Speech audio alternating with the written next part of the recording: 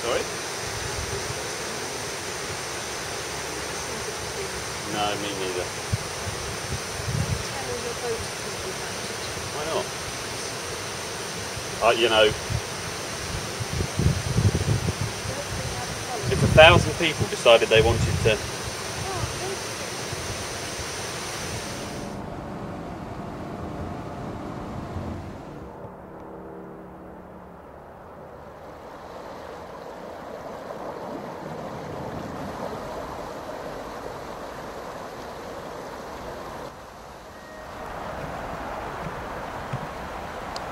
Now, on these locks, this is one close to the uh, A1, so it's quite noisy.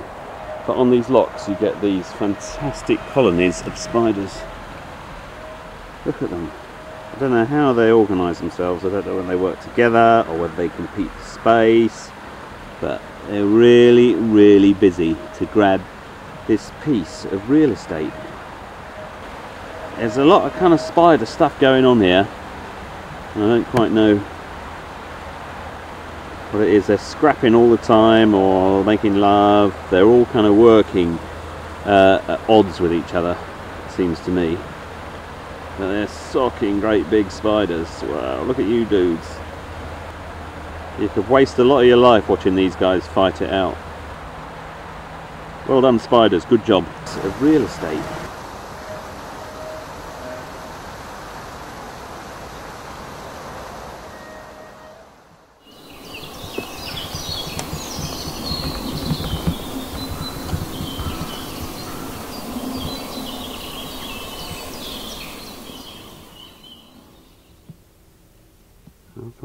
That shape in that piece of wood, didn't they?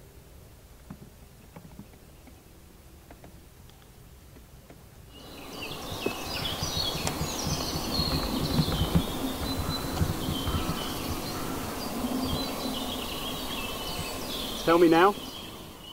Tell us we're the first boat ever to sail past you. Hang on, hang on a minute, Daddy, hang on a minute.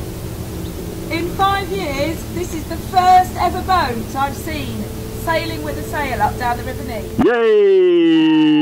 Yay! Thanks, Dad. You can go back to Dad now.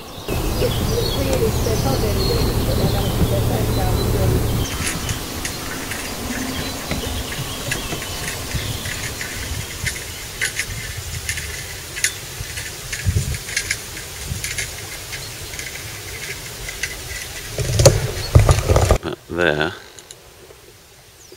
a little blue dot in the distance, it's my wife having a walk around while I'm having a sail.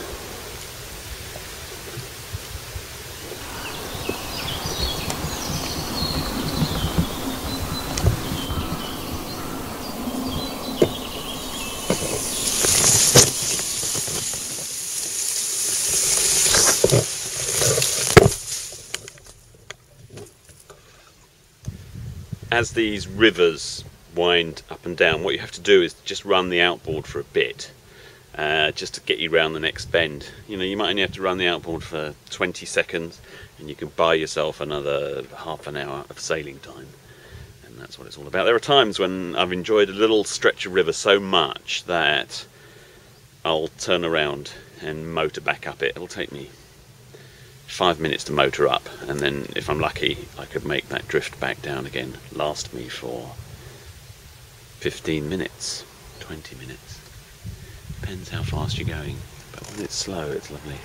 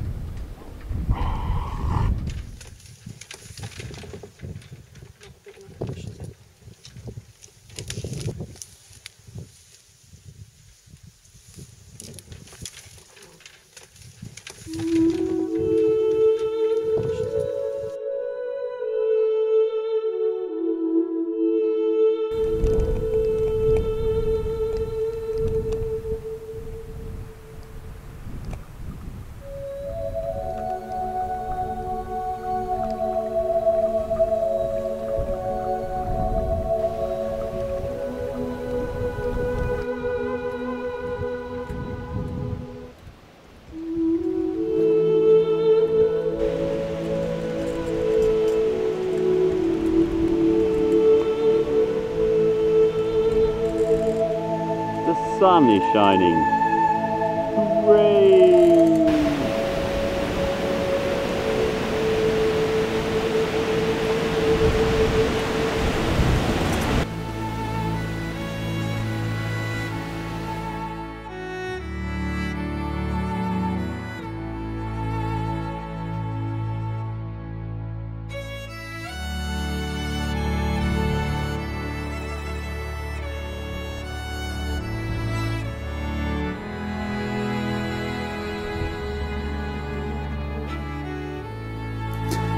15 miles on up from Peterborough, the Nene, or the Nen as it is called in its upper reaches, passes through a wide, fertile valley which is dominated by the Church of St Mary and All Saints, a name which suggests an organisation that is willing to hedge its bets.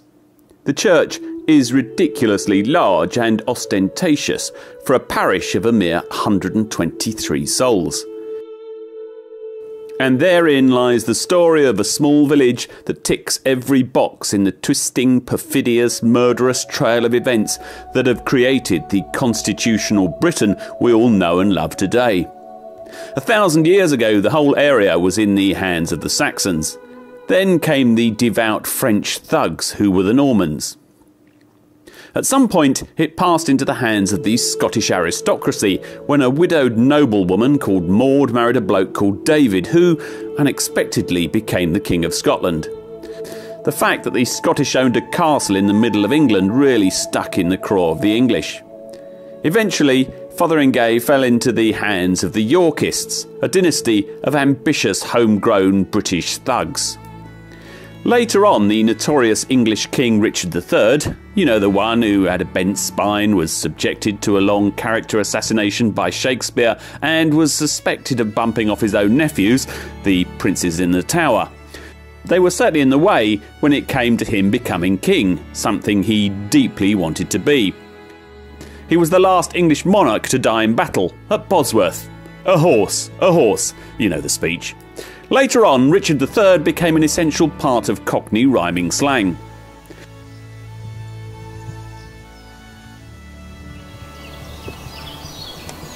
At one time, this was a Catholic church, but Henry VIII put a stop to all that and stole all the money and the gold and gilt, everything.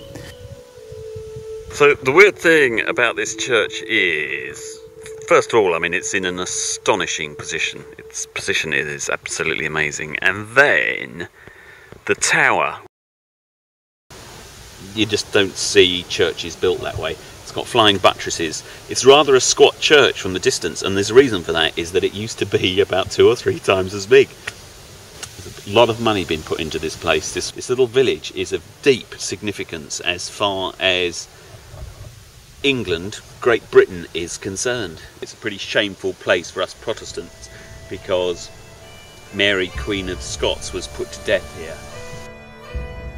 Elizabeth I, who was a hard hearted, philandering virgin queen, had a troublesome, sensually saintly Catholic multi married cousin Mary, Queen of Scots, incarcerated for 18 years, first in Sheffield and then for her final months at Fotheringay in the heart of Pope denying East Anglia.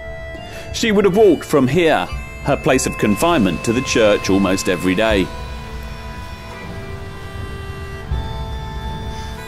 So she would have walked this path many, many times, wondering what the future held. From the castle to the church,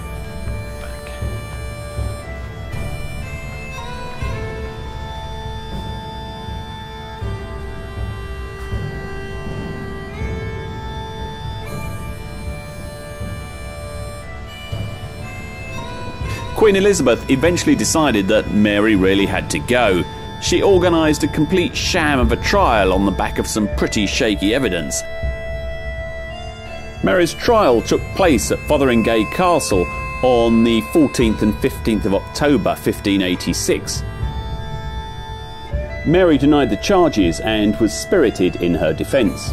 She told her triers, Look to your consciences and remember that the theatre of the whole world is wider than the kingdom of England. Yeah, we've forgotten that. She drew attention to the facts that she was denied the opportunity to review the evidence, that her papers had been removed from her, that she was denied access to legal counsel, and that as a foreign anointed queen she'd never been an English subject and thus could not be convicted of treason. After the evidence was heard, she was found guilty of treason on the 25th of October 1586. Queen Elizabeth asked uh, Paulet, Mary's final custodian, if he would contrive a clandestine way to shorten the life of Mary and save her the trouble of having her executed, which he refused to do on the grounds that he would not make a shipwreck of my conscience or leave so great a blot on my poor posterity. It took Elizabeth a few months before she got around to signing the actual warrant, which she said happened by accident, as it was in a big pile of other stuff that needed signing that day. At Fotheringay on the evening of 7th of February 1587, Mary was told that she was to be executed the next morning. She spent the last hours of her life in prayer, distributing her belongings to her household and writing her will and a letter to the King of France. The scaffold that was erected in the Great Hall was two feet high and draped in black. It was reached by two or three steps and furnished with a block, a cushion for her to kneel on, and three stools for her, the Earls of Shrewsbury and Kent, who were there to witness the execution. The executioners, one named Bull and his assistant, knelt before her and asked forgiveness. She replied, I forgive you with all my heart, for now I hope you shall make an end of all my troubles. Her servants, Jane Kennedy and Elizabeth Curle, and the executioners helped Mary to remove her outer garments, revealing a velvet petticoat and a pair of sleeves in crimson brown, the liturgical colour of martyrdom in the Catholic Church. She was sticking with the politics right to the end. She was blindfolded by Kennedy and with a white veil embroidered in gold knelt down in the cushion in front of the block, on which she positioned her head and stretched out her arms. Her last words, in manus tuas domine commendo spiritum meum. Into thy hands, O Lord, I commend my spirit. Mary sadly was not beheaded with a single stroke. The first blow missed her neck and struck the back of her head. The second blow severed the neck, except for a small bit of sinew which the executioner cut through using the axe. Afterwards, he held her head aloft and declared, God save the Queen. At that moment, the auburn tresses in his hand turned out to be a wig, and the head fell to the ground, revealing that Mary had very short grey hair. See the moat. And so significant was this castle that after she was assassinated, they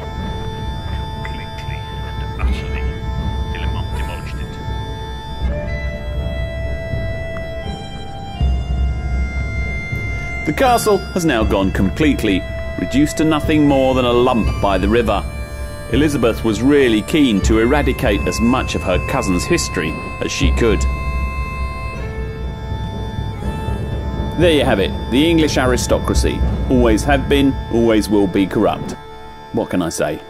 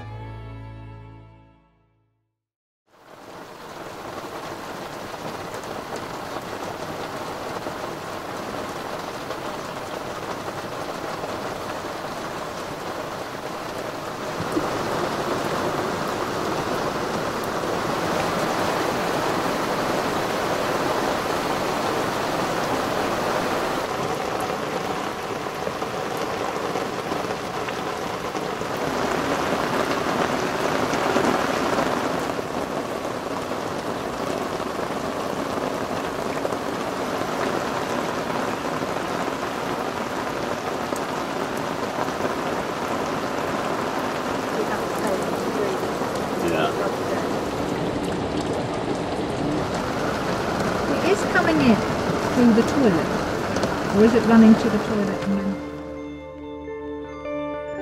We've just spent the night here uh, on the edge of Peterborough, so we're then going to sail down to Peterborough and through back to the Wash.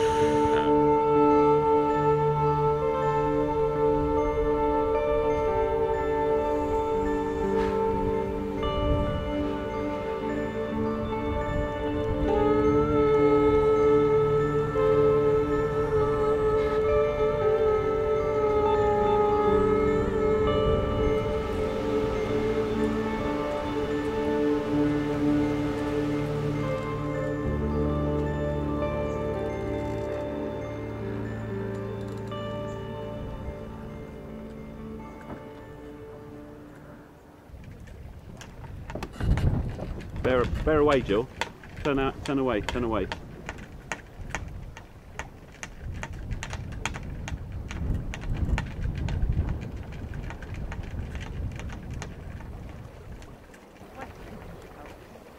Now you need to harden up a bit, otherwise we'll won't get round this bend. There's one more long line. Is there? Well, there are limits. We've got to have a bit of river. The longest line out. in the- Yeah, well, we've got to have a bit of river.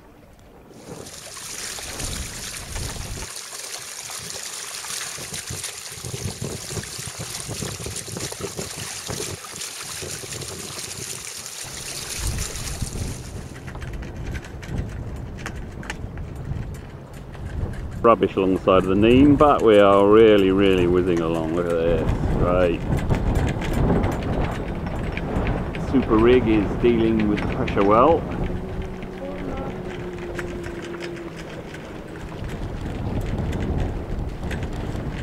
Good East Anglian sky though.